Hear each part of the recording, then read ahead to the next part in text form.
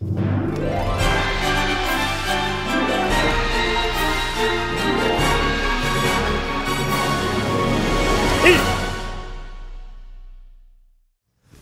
っす。千葉県中央支部新田翔慶です、えー、世界大会は3度目の出場になりますが、えー、年齢的にも世界チャンピオンになれる最後のチャンスだと思ってます、えー、覚悟を持って臨みますので応援よろしくお願いします。おっす。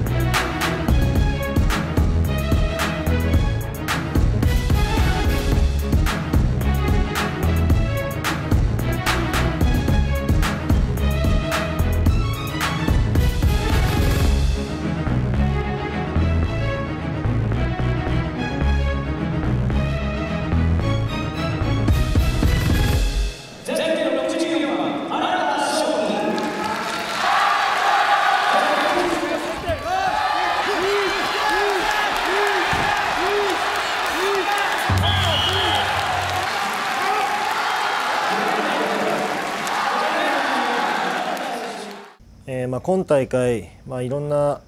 強豪選手が多数参加されますが、えー、まあ、今まで選手やってきて、ま本当の強敵っていうのは、ま自分自身の中にあると思っています、ま自分自身と向き合って、えまた対戦相手の選手とも向き合って、